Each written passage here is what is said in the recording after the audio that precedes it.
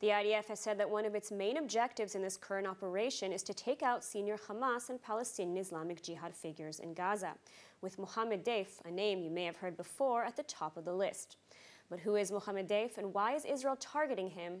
Hannah Rifkin with the report.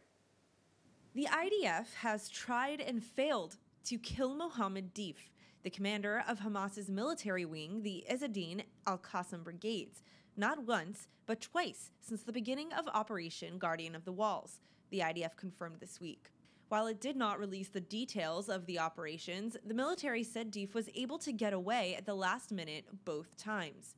Considered by the Israeli military to be a skilled commander, Deif is the mastermind behind numerous terrorist attacks which have killed Israeli citizens. He has been on Israel's most wanted list for the past 25 years. Israeli security services have tried to kill Deif multiple times over the years. The first attempt took place in 2001 and another in 2002, which left him partially blind. A third attempt was made in 2003, and an attempt in 2006 left him seriously injured, losing both of his legs and an arm. In the 2014 Gaza war, Israel made another attempt, initially believing Deif had been killed. He managed to survive that attack as well, however, though his wife and children did not. Earlier this week, the head of the IDF Southern Command, Eliezer Toledano, told Israel's Channel 12 News that Mohammed Deif, along with Yahya Sinwar, Hamas's Gaza leader, remained in Israel's sights.